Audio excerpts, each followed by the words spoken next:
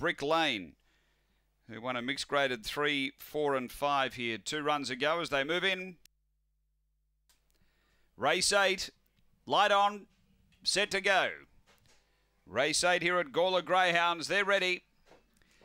And away. Good line out again. Speed here, Romans Legend driving hard. Jimmy McBain's going to push up and hold. So Jimmy McBain leads to the back from Romans Legend. Bean Manelli Two away, Swansea Syria. Couple away, Brick Lane, Aston Hinkley. And Fast Five back at the tail. Jimmy McBain rolling down the back by two. Romans Legend doing the chasing. Then Bean Manelli. Three away came Swansea Syria up to the turn. Jimmy McBain still had the lead, still by two. Over Romans Legend, Bean Manelli, Swansea Syria. But Jimmy McBain all the way. Jimmy McBain first, second, Romans Legend, third, Bean Manelli. Then Swansea Syria behind those Fast Five.